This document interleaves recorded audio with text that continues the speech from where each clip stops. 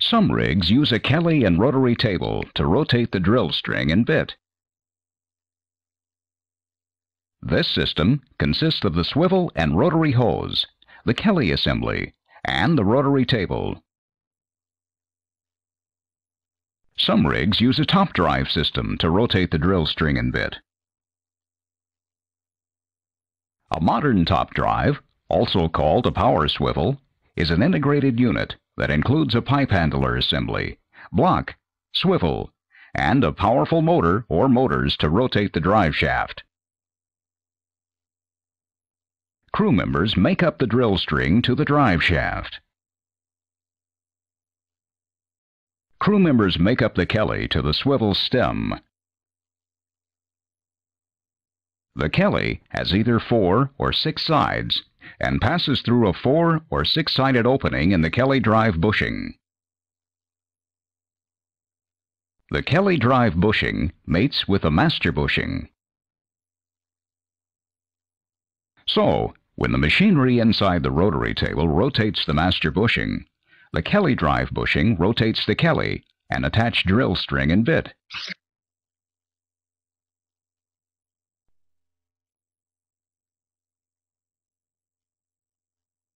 The Kelly is flat-sided, with either a square or hexagonal cross-section. It's square in this drawing. It is hollow, so that drilling fluid can flow through it. The Kelly moves through a square or hexagonal opening in the Kelly drive bushing. The Kelly drive bushing mates with the master bushing in the rotary table. The rotary table turns the master bushing, the Kelly drive bushing, the Kelly, and the attached drill string and bit. The Kelly can move vertically while rotating. The rotary table performs two functions. First, it transmits rotary motion to the master bushing which drives the Kelly and drill string. And, with assistance from slips, hangs the drill string. The master bushing goes inside an opening in the rotary table. Small master bushings are usually a solid single piece, as shown here. Large master bushings are either split or hinged. Crew members install a two-piece or split insert bowl in a receptacle in the center of the master bushing. The insert bowl is tapered inside and supports the back of the slips. They come in various sizes, The crew changes out the insert bowls to match with the type of slips in use. Insert bowls are also called inserts or bushings. Rotary tables have openings that range in diameter from 17 to 49 inches, 43 centimeters to about 1.2 meters. The smallest can hold a non-moving load of 250 tons, about 225 metric tons. The largest can hold a non-moving load of 800 tons, about 725 metric tons. Some small rotaries can spin as fast as 500 revolutions per minute, RPM. Large rotaries spin a bit slower, with upper ranges of about 300 RPM. Manufacturers taper the inside of the insert bowl. They taper it to match the taper of the back of the slips. The slips grip the drill string and suspend it inside the insert bowl. The insert bowl fits inside the rotary table's master bushing. Suspending the drill string in this manner allows crew members to disconnect the Kelly or top drive and break out joints of drill pipe.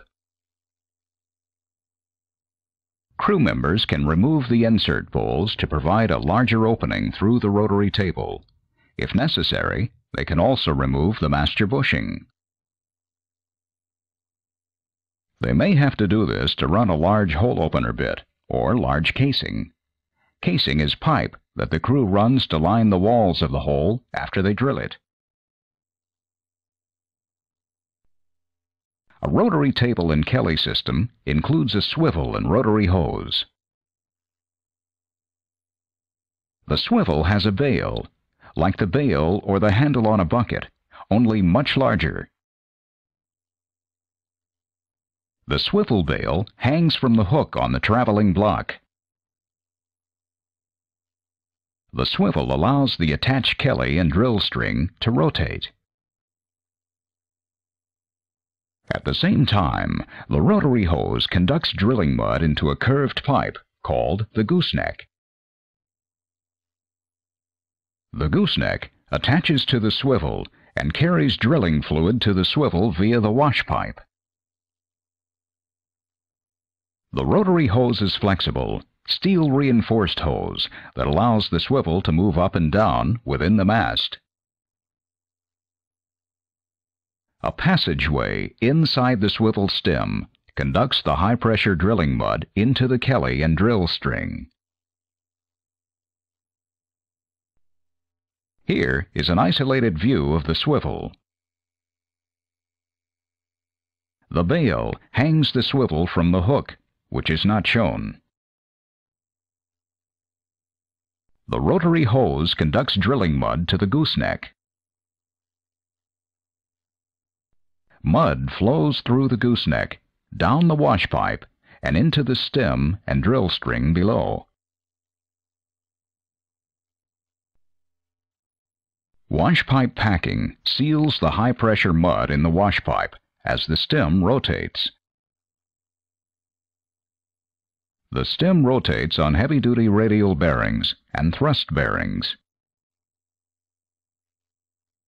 The main thrust bearings support the entire weight of the drill string as it rotates.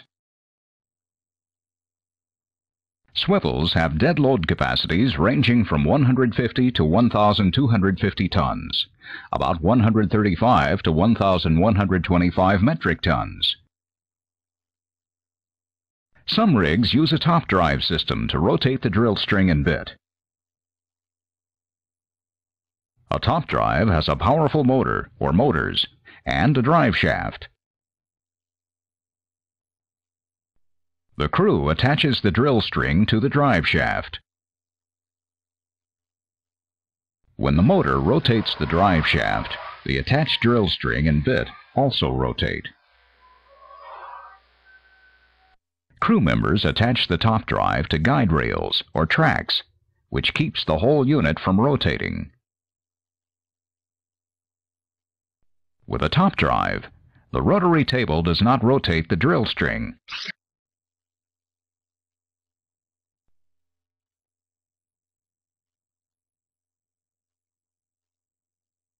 The most important benefit of a top drive is that it reduces drilling time. It also rotates the drill string more efficiently than a Kelly and rotary table system. Further, it handles stands of pipes more efficiently. A top drive system provides more variable rotating power than a rotary table. It allows drill string rotation and circulation at any point in the hole when tripping in, drilling, or tripping out. These features help prevent hole problems. It provides rapid response to well kicks during tripping or running casing. The driller can make up and remotely shut the built-in IBOP to stop drill string flow faster than a crew can set slips, stab, and close a full opening safety valve. In highly deviated holes, it helps to prevent the pipe from getting stuck by allowing the driller to immediately ream or back ream the drill stem. If the crew can make up three joint stands of pipe before drilling starts, a top drive can drill triple stands instead of just one joint, as is necessary on a Kelly drive rig. Making up three joint stands reduces the number of connections required to one In many cases on large offshore rigs, the crew no longer needs to lay down pipe between wells. That is, the crew can set stands back vertically in the derrick, and the rig can be moved a short distance without the pipe being laid down. Top drives have a few disadvantages. They are more expensive to maintain, and they are very large. Because of the additional weight, the rig's drilling line wears faster. They are more difficult to move on land rigs that must be disassembled.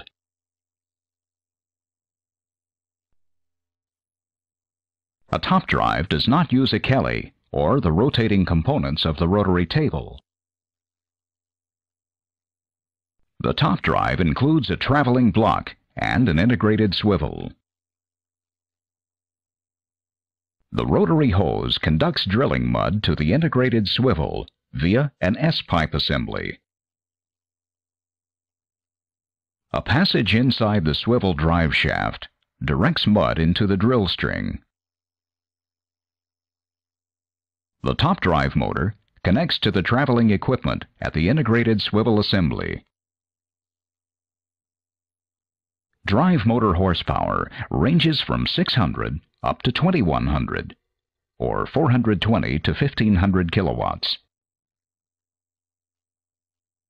The motor turns the main drive shaft through a gearbox or transmission. Crew members make up a saver sub on the bottom of the drive shaft and make up the drill string onto the saver sub. The saver sub cuts down on wear and tear to the drive shaft's threads. Top drives have hoisting capacities ranging from 350 to 750 tons, or 315 to 680 metric tons. Guide tracks or rails in the mast keep the top drive unit from rotating as the motor and the drive shaft assembly turn the drill string. The top drive dolly assembly moves up or down on the guide rails. Service loops, which are bundled cables and hoses, transfer the required electric, pneumatic, and hydraulic power between the mast standpipes and the junction boxes located on the top drive. The top drive unit also includes a pipe handler assembly that has an upper inside blowout preventer, IBOP, a lower IBOP, and a torque wrench. The torque wrench makes up or connects and breaks out or disconnects joints of drill pipe.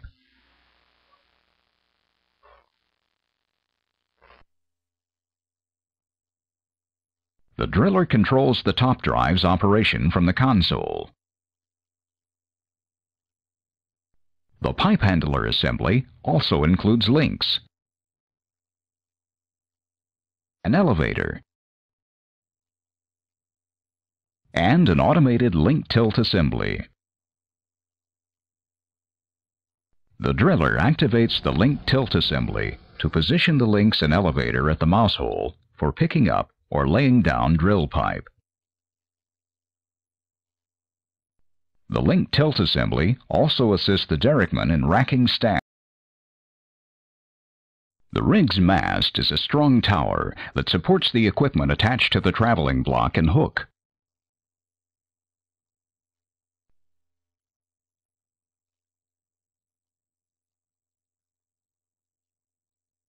Crew members sometimes use the words mast and derrick interchangeably. In reality, a mast stands independently on the rig floor and is raised as a single-piece unit.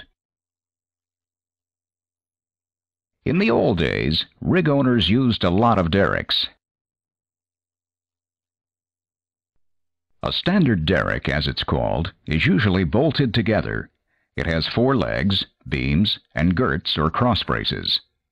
Unlike the mast, the derrick cannot be lowered or raised as a single unit. Today, masts are much more common than derricks.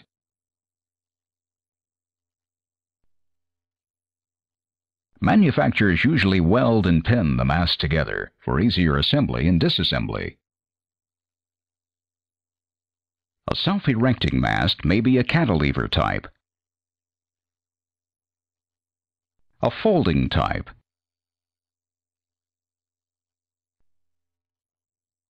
or a telescoping type.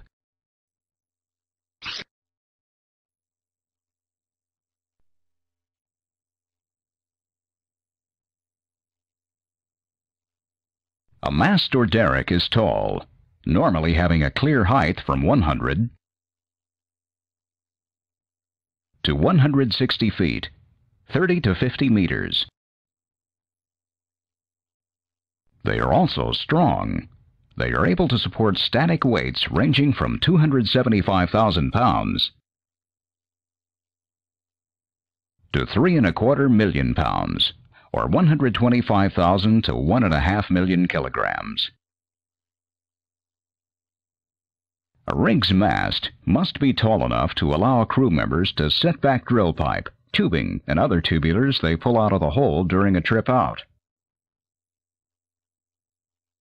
It also has to be tall enough to allow the driller to raise the traveling block above the height of the derrickman's monkey board.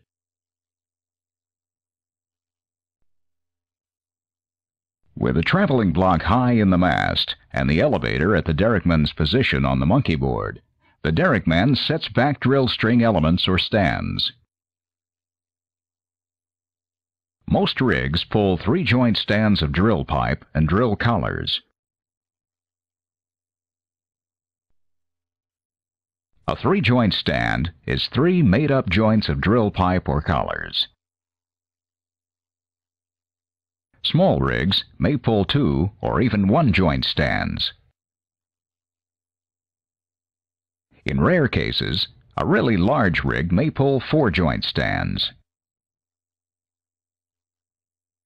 Regardless of the number of joints, pulling pipe in stands instead of a single joint at a time speeds up the tripping process.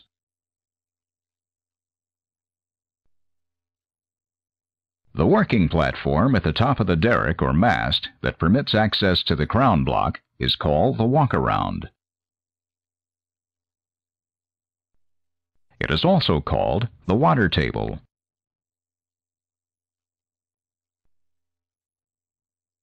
The monkey board is the derrickman's working platform when crew members pull pipe or run it back into the hole. The derrickman sets stands of pipe back into a fingerboard, a platform with projections that holds the top of the pipe in place as it stands in the mast.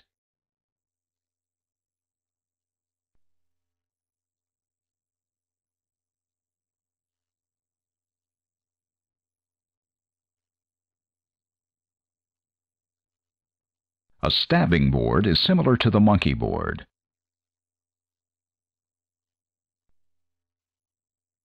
It is a small platform in the mast or derrick, about 30 to 40 feet, or 9 to 12 meters, above the rig floor. A drilling crew member, usually the derrickman, works on the platform when running casing or tubing. The derrickman guides the top of the casing or tubing from the stabbing board. The crew member called the stabber adjusts the stabbing board's height with a hydraulic, electric, or air-powered motor. The height varies depending on the length of the casing or tubing being made up and run into the hole. The substructure is a rugged set of beams. It supports the mast or derrick and the heavy hoisting and rotating equipment. It also supports the drilling tubulars on the rig floor. It must be high enough to accommodate the blowout preventer stack underneath the rig floor.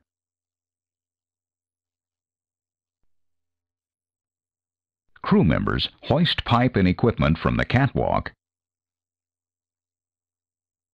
up to the rig floor by raising it up the pipe ramp.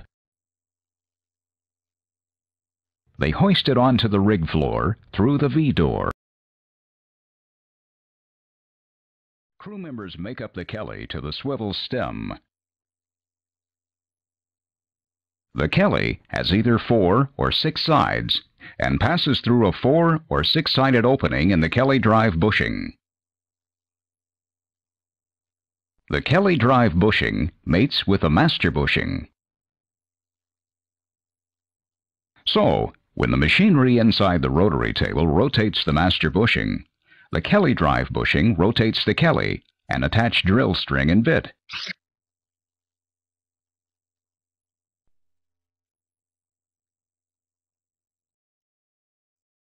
The Kelly is flat-sided.